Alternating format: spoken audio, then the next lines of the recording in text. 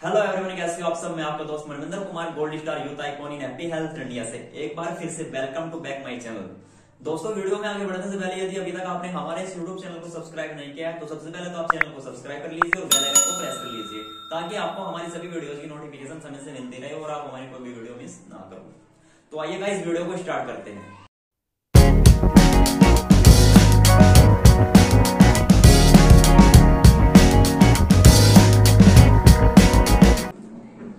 आज मैं आपको बताऊँगा कि नेटवर्क मार्केटिंग को लेकर लोगों की सोच भिन्न भिन्न क्यों है? क्यों लोग नेटवर्क मार्केटिंग के प्रति इतने नेगेटिव थॉट्स रखते हैं और क्यों लोग नेटवर्क मार्केटिंग को भला बुरा बोलते हैं?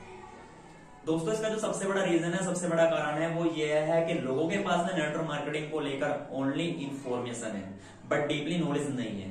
गहराई से वो लोग नेटवर्क मार्केटिंग का अध्ययन नहीं करते। बस किसी से उन्होंने सुना है कि नेटवर्क मार्केटिंग का बिज़नेस होता है, उसने उसको जोड़ा, उसने उसको जोड़ा और ये नेटवर्क मार्केटिंग होती है।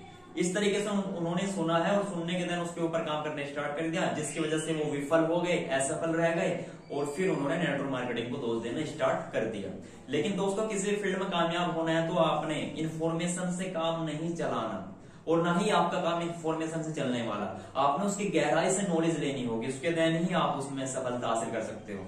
बिकॉज़ गाइज़ आधा अधूरा ज्ञान किसी भी फ़ील्ड में असफलता का कारण बन जाता है। जैसे कि दोस्तों, आप सभी लोग जानते हो कि महाभारत के अंदर अभिमन्यु के पास में चक्रव्यूह तोड़ने का आधा अधूरा ज्ञान था, जिसकी वजह से अभिमन्यु को असफलता के रूप में मृत्यु प्राप्त हुई। दोस्तों, इसको मैं थोड़ा स्पष्ट करने की कोशिश करता हूँ। सपोज़ दैट अंधेरे में आपके हाथ में सांप की पूछ आ जाए तो आप उसको अपने अंदाजे से रस्सी समझ सकते हो। या फिर आपको अंधेरे में किसी प्लेट में कैंचुए पड़ोस कर दे दिया जाए तो आप उसको चाउमीन समझ सकते हो। या फिर अंधेरे में आपके हाथ में हाथी का पैर आ जाए तो आप लोग उसको बरगद का पेड़ भी समझ सकते हो। इस कारण आप लोग वास्तविकता से काफ़ी दूर हो जाते हो। सैम का इसी प्रकार से नेटवर्क मार्केटिंग का बिज़नेस है।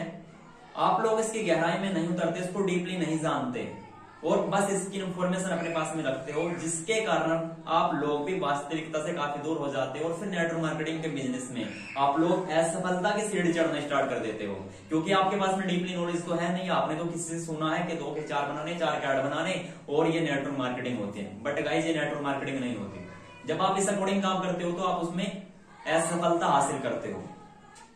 तो गाइस इस प्रकार जब वास्तविकता से दूर होकर आप लोग इसमें सफलता हासिल कर लेते हो, आप लोग इसमें विफल हो जाते हो तो फिर आप लोग दो चार लोगों से और मिलते हो और फिर आप उनको भी बोलते हो कि नेटवर्क मार्केटिंग के बिज़नेस में प्रोडक्ट बेचने का काम होता है, आपको सेल्समैन बना दिया जाता है, आपसे पहले पैसे ठगने का काम किया कराया जाता है। आप उनको भी नेगेटिव कर देते हो, जिसके प्रति मार्केट के अंदर काफ़ी नेगेटिविटी नेटवर्क मार्केटिंग को लेकर फैली हुई है। और जिसकी वजह से बहुत कम लोग नेटवर्क मार्केटिंग में कामयाब होते हैं। तो दोस्तों, यदि नेटवर्क मार्केटिंग में कामयाब होना है तो आपने सबसे पहले इसकी गहराई से नॉलेज लेनी होगी और आपने रियलिटी में इसके ऊपर वर्क करना होगा। उसके तहत ही आप नेटवर्क मार्केटिंग में अच्छे से कामयाब हो सकते हो, अन्यथा अभी और लोगों की तरह इसमें